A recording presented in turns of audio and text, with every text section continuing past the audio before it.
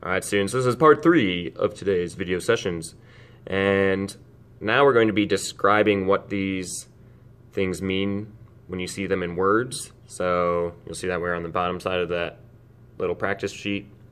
And I'm just going to go over, say you see something like 10 hertz. What does that actually mean?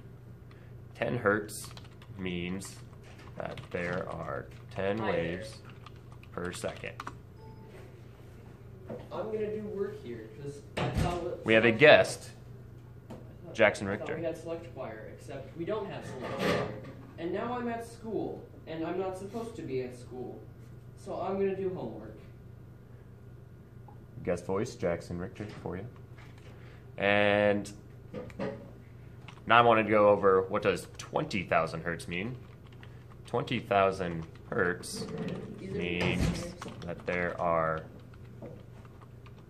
20,000 waves per second. So you have 20,000 up and down movements every second. That's a lot. And then now, what does it mean for a period? Period of two seconds means that one wave takes two seconds to complete. That section should be pretty simple. This was round three. Get ready for round four.